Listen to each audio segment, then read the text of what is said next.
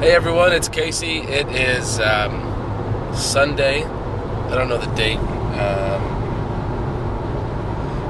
uh, November 14th, and it's about 1 o'clock in the afternoon.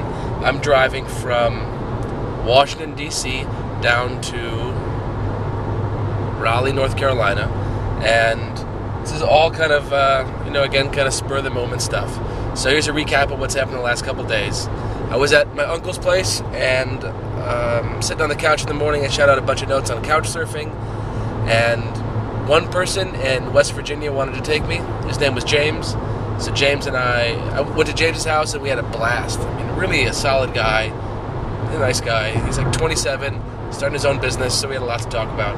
And um, we hung out at his place, and then we went out to kind of like a couch surfers uh, Peace Corps volunteer party. That was a lot of fun. Um, that was downtown Charleston, West Virginia. And then after that, we jumped over to the bar, hung out there, got to meet some locals. It was a pretty funny scene. Um, talked about like moonshine and uh, the Whites of West Virginia, Jesco and D. Ray White. If you don't know who they are, check out the Whites of West Virginia. Um, or that was in that other Hank Williams song that I posted about some people in um, down in West Virginia. So, uh, good time, uh, really good time. And then James, the next day, we got up. He made me breakfast, and we set off uh, to go tree climbing. We climbed a nice tree in a holler just outside of town. Um, did maybe like a 45 or 50 foot climb. It was his first time, and uh, that seemed pretty pretty healthy for him. So that was fun. And then uh, we went back to his place, and he said, "Hey, there's a car for sale in Washington D.C. Want to go?" And I said, "Sure." So we mapped it out and jumped in the car. Um, got plates for from his old car, and we were gonna just tag it with those so he could drive back, and then left. We got in last night around eight o'clock. Checked out the car. It was a piece of junk. He didn't want it, so we left. I met up with my good friend Andrew uh, Samyak from Michigan State we call him Tex. So Tex and his girlfriend and James and I went, and then Tex's friend came with us, and we all went down to a dive and you know had dinner and just kind of kicked it. And then James and I couch surfed that night, and we couch surfed in uh, north of DC in a small neighborhood. It was pretty like a pretty rough neighborhood. Everyone was saying, but it was great. Nice, nice people, fun times, like a fun house party. Maybe 30 people there in a keg. Um, so we hung out there, and then we uh, hitched back to the house that we were staying at, about three blocks away. Woke up this morning and uh, helped uh, the girl that I was couch surfing out with her bike, kind of get it tuned up, and then we, James and I, bounced downtown uh, DC, got to check out cool stuff along the way, like the. Um,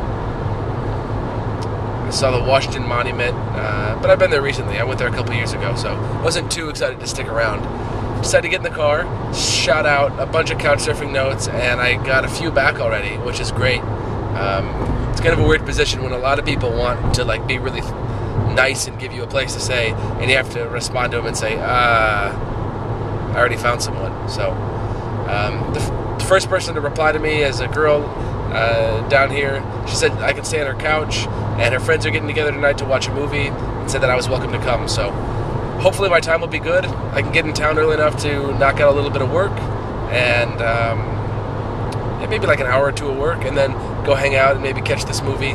Could use a shower too. Uh, but otherwise, it's been a great trip. I'm trying to think of what I'm doing tomorrow. Tomorrow's Monday. I've got to be on a call at 9 a.m. and work all day. So I'll do that probably in Raleigh.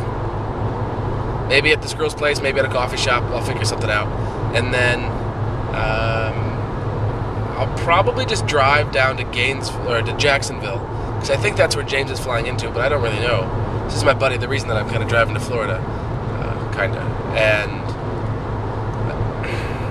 maybe go to Jacksonville see if I can couch surf there, or go to Gainesville see if I can couch surf. Depends on where he is, or I can stay with his girlfriend.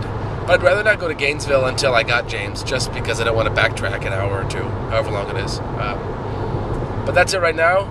I've clocked 1,058 miles. Uh, I've driven it all myself. It's having a blast.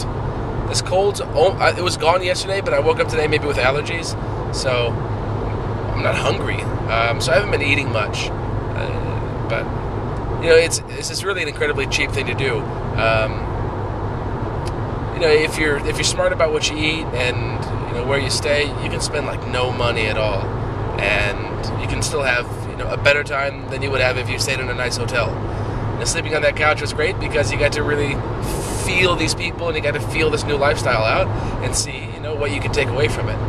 One of the big takeaways I had from James was that he talked about going to Nicaragua and he was there for a year volunteering, and that's a pretty solid thing to do. So um, we talked about the costs of flying to Nicaragua. He said about 300 to 350 bucks round trip from DC. He found a ticket for. He just went there, and it was super cheap. And he was staying at a place for between five and seven dollars a night. So that's about 250 bucks a month, right? Um, no, it's not. It's like 150 bucks a month. So it's super, super cheap if it's five bucks a night. So uh, maybe, maybe that's in the plans later. We'll have to see what what January brings and if I uh, if I jump on any other trips. So, um, but uh, yeah. So right now I'm on 95 heading south. I'll be there in a couple hours. Um, awesome. Take care.